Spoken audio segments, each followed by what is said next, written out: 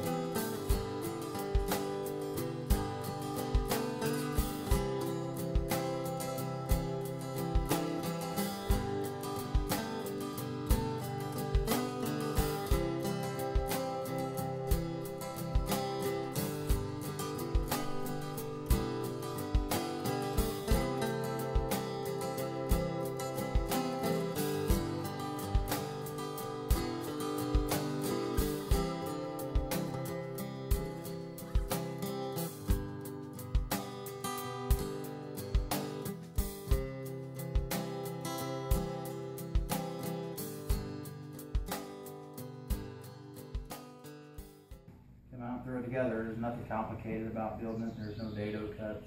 It's all real easy to do. It's got the casters on it. I can roll it around. All I gotta do is fill it up, which will be easy because I got a lot of scrap.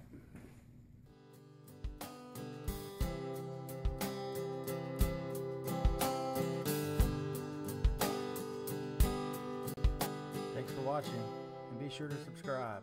Hey, I got that right.